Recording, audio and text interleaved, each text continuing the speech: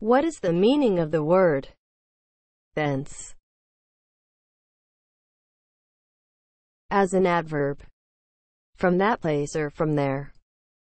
From that circumstance or source. W. V. Quine. Thence is spelled T H E N C E. Thence.